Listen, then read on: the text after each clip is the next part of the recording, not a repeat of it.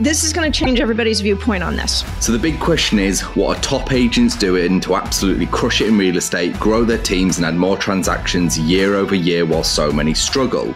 To get the answers, we interview the top real estate agents to learn their secrets to success. My name is Andrew Dunn. And my name is Peter Michael. Welcome to Elite Agent Secrets. Second secret to success is ways to generate leads. I know we touched on this. Jennifer, you are a cold calling, door knocking fiend. Monica, you are more of my and Peter's cup of tea. You are a social media generator. Jennifer, we're going to swing by you first. Ways to generate leads, secrets to success, unpack what you've got going on, how you can help people with generating leads. And also why I you think- chose your method. I think that's important why you chose well i method. chose it because monica told me to. She was my first coach. And then i tried it and i was like oh shit. She even made me a little board and everything where it's like okay every contact. She had like 20 magnets so i had to get 20 contacts a day. And she's like every time you make a contact move the magnet. So i would like move the magnet and at first it took me all freaking day. And then eventually she would check up on me and yell at me and she made me give her money if i didn't make it Remember, Monica? This is the truth. I said, how much money would is painful? And back then you were like, I wouldn't want to lose $50 to you. I'm like, give me a check for $50 then make it payable to me. And if you don't do your calls, I'm cashing it. I'm going to dinner.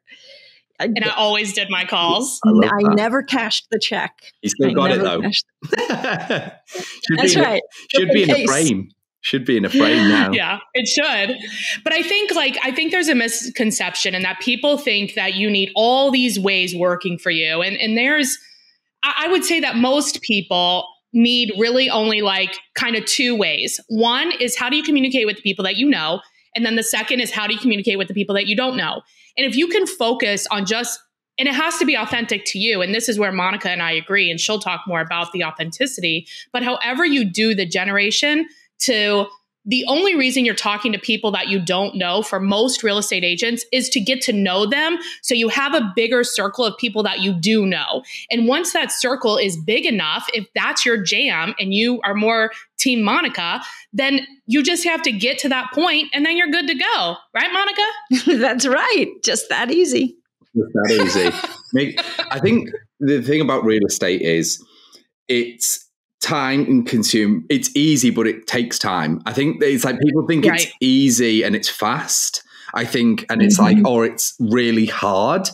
And it's like no the process is simple and it is easy to execute. It's just monotonous. Like there's just that's right. Yeah you have to be comfortable with the monotony for sure and it is it, it is easy it's time on task most agents have adhd so like take your ritalin do whatever you need to do to focus every day and get it done my uh, my coach, the great Hank Avink, said, "What will you? Hey Hank. What will, hey Hank, what will you get bored as fuck doing?" That was his question. Like, and that's what people don't want to do.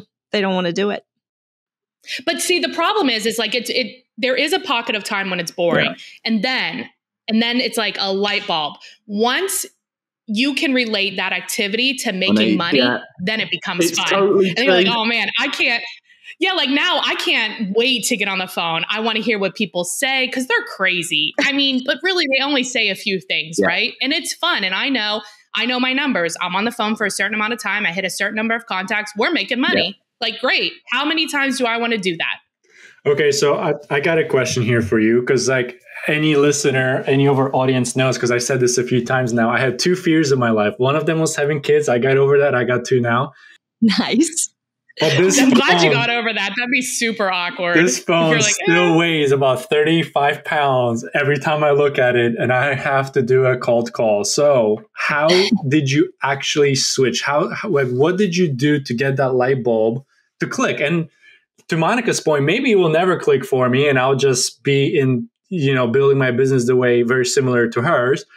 But I'm all about Which getting out of my great. comfort zone, right? It's uh, it's all about getting and doing the things that you know you require to do to get better. Because if I can associate it with money, game over. I would be on this right, phone you'll all do it day, all the time. All day long. How many can you do? All, right. all day long. And, and, Andrew knows I'm on the phone all the time. Like I don't shut up so when I when I call or, or these inbound leads that we get from Facebook. I will hound them until they tell me to fuck off or we're ready to go, right? So what's the problem? I don't I don't know. I just I have this. I think you could be focusing on a lot of people have this call reluctance because they're so focused on like, I have to call 20 people, I have to call for two hours, I have to do this. But if you just focus on, let's say you want to start at eight o'clock. Mm-hmm. So if you're or whatever, 8:39, whatever it is, right? If you just focus on the phone has to be ringing by that time and then I'll be successful. And that's it. As long as it's ringing by that start time, I'm successful. I win for the day then you're good. So when you focus on that and you do it enough times, do it for like a few months, it'll it'll click. You'll be fine. Get, here's something I also know about Jen that she's not mentioning here and it's a mindset shift on the calls because Jen doesn't go into the calls with I'm going to get something from this guy. Jen goes into the calls with I'm going to see if I can actually help this guy. Yeah, I don't want to be, I don't want to work with them if it's. The reason people have call reluctancy is because they're worried about how am I going to get what I want out of this call? And am I going to bother them for what I want? Yeah. Am I going to try to trick mm-hmm. them for mm-hmm. what I want? But if you no. go into it like, I actually have a real estate license, I'm certified by the state to help this person. This person has a problem clearly because it hasn't sold or da da da da da. Um, I'm going to find the problem. And if I can help them, then this is going to be a great call. Yeah. And that's how Jen. Well, do you truly believe that you're the best person or that your team are the best people that I know that I know the best people in the industry in where I live. So when I generate a lead and I give it to somebody else, I know that's the best person and that person's going to help them. And if I would challenge, like, if you're not talking to people, do you really think that you're the best person to help them? Mm. There you go. Ooh. Mic drop. she does it. She does it. With um, with cold calling, one of the things I've, I've known have some, a big ego. I've, I've no. known some savage. I, I, don't. I hate it as well. I, I'm good at cold outbound, but I don't do cold calling. Like cold email, cold LinkedIn, whatever, all that stuff. I'm fine with. I don't particularly like cold Facebook outreach. Actually, I find that a bit awkward because I feel like it's a bit personal still.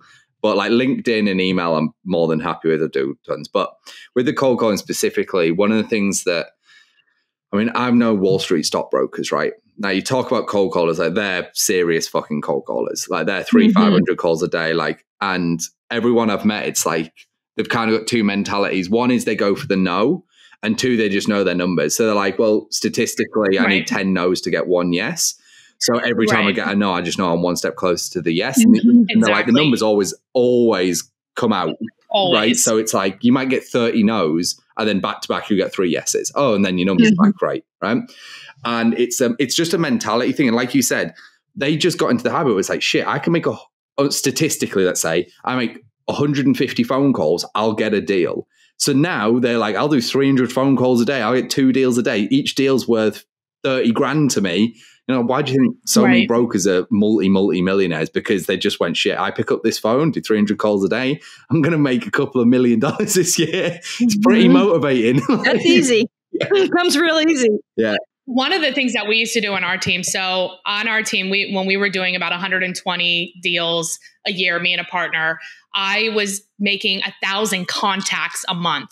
So that's I can't even I don't even know the number of dials because I always do contacts. So a thousand contacts a month yielded a, about 120 deals a year. But also what we found is a lot of people have more than one house. So you're getting like multiple deals off of the same yeah. like contact too, which is really fun. And you also then become a networker, right? You're like, oh, I know this guy who does this or this gal who does yeah. this. And like you really do you become a real estate agent yeah. because you are the connector. You're the person that's responsible you know what I mean? It's like what you want to be, but if you don't get out there and talk to people, nobody's going to know that you can do 100%. that. 100%. I mean, what's usual rates? 33 contacts a day, what, 20% pickup maybe? Maybe or 15%. So you're talking 150, 200 calls a day you're potentially doing. Yeah. You know, maybe upwards of that. And then it's like 1,000 contacts. Fuck, it's 33 contacts a day. And that's if you're working every day of the month, not if you're just working weekdays, but you're an agent, you probably work yeah. every day. Now, Monica, we talked about Coco, and I want to just unpack a little bit more about what you do instead. So you're more social, you're more our side. So unpack your ways of uh, generating leads. Yeah, I'm full referral. So I operate. Um, well, first of all, everyone that's listening that doesn't want a cold call like Jen, they're like, finally, okay, tell me the secret, Monica. Like, okay, this is going to be my jam. Because most agents want to do business by referral and relationship. That's just the nature of who we are. Yeah. Most mm-hmm. agents would prefer to do that. But the problem is they think that they're not in control of that outcome if they want to do business by referral, re- referral and relationship, they feel like I just have to hope my database pulls up, you know, pulls up for me. And it's just not true. We can create a system and a predictable flow of income through referrals, but it is just like Jen's business in that you have to do the program every day. And the program can be a little different for everybody. I've got what I've done every day. If I'm being totally honest, I don't have to do that program anymore because I've done it for so long that my my status within my 100 to 150 VIPs yeah. is so solid. But here's the thing. This is going to change everybody's viewpoint on this. You have to know what your number one job is if you want to be a referral relationship based business, realtor. So most people think that job is opening doors, showing houses, negotiating deals, writing contracts. That is not our job. That is a result of you doing your job. So when you wake up and you look at your calendar and you don't have a showing or you don't have an offer, you don't have anything to do today, that's not the case. You actually do because your number one job, if you want to do business by referral, is to make sure that you hold position A in the category of realtor in all 100 to 150 of your favorite people. That is your job. And here's the problem with that job. When those 100 to 150 people go to bed, they forget about you. They forget about what you do. They, you, you, they have other things going on. Believe it or not, you're not the person that they think about 24 7. We're like, what? How could that, how could Jen have not told her neighbor about me selling real estate? I've been selling real estate for five years. Well, Jen does, Jen has a lot going on. And if I'm not like top of mind awareness, truly like completely engaged with their life in a way outside of real estate, I'm not going to get them to stop what they're doing, get my phone number, connect me with their phone number, connect them with my phone number, edify me. It's hard for people to give referrals. So we have to create an environment where they care so deeply about our success. Not just, oh yeah, Monica, she's cool. But no, like, oh my God, we love Monica. She's like Aunt Monica to us. She's great. She's always there when we're celebrating. She's always there when times are tough. She's way more than our realtor she's a part of our family. She's Aunt Monica. I always say that's my goal. I want to be Aunt Monica in 100 to 150 families, or even maybe a lot of presents to give these kids. that's right. No, but if you, if I call your top 100 to 150 people and I say, quick survey, name a real estate agent, and they don't name you in the first two seconds, you are not doing your job. That's why this referral and relationship business is tough because that takes daily work and that's what you should cold call. well, yours does too. The thing is, Jen, when you stop cold calling, your business is over. My business will trail out for another year and a year and a half. I will continue. If I never mentioned real estate on Facebook again and never made a call and never made a comment, I would still get business for another year and a half. Yours is done. In theory, I, mean, I, know you have past clients and they would call you because you do an amazing job, blah, blah, blah. Nah, nah, nah, in theory, that's why I like my business. And I actually tested that one year and I ended up doing, um, can't remember how many deals it was, but I made a hundred. I was full in coaching. I wasn't talking about real estate. I wasn't doing my daily routine to uh, strengthen and deepen these relationships. And I made $120,000 in like five hours a week in real estate. And because I had shut it down, I've since obviously built it back up. But um, so there's that. I can go on, but let me just stop. So when it comes to actually um, from the social media aspect, is it are you leveraging heavily on the organic side? Or are you also doing the paid side? No paid, zero paid, 100% organic. Do not pay for leads. I do, yeah, I do not pay for leads. No, I would and, never. But how are you building these relationships that in a matter of seconds, if you survey your 100, 150 VIPs, they know exactly who Monica is? They freaking love her. Because I'm in real relationship with them and I'm helping them get what they want in life, not real estate related. I'm, that's it's what I want. It's so exhausting. Up. Can you give us like a Can you give us an example of what of of what that means? Yeah, there's lots of different gestures. I mean, this is really appreciation marketing. Is is uh, um, what we're talking about here. So, you know, whether I'm doing a random act of kindness or sending a note or um, sending a thoughtful gift or spending time with them or connecting them with somebody that can help them. Hey, they, they need a roofer and I've got that. I mean, it can be real tactical, but no longer am I just like that passive friend that like, oh, their dog died. Oh, that's so sad. Next. Like, no, the freaking dog died. Like, I'm calling that your grandma died. I'm calling them. Oh my gosh, I saw your grandma died. I know how close you were to her. What, you know, what are you going to miss most about her? I know she was a great cook. What was your favorite? we're going to have this meaningful conversation because I'm going to show up as a human being first.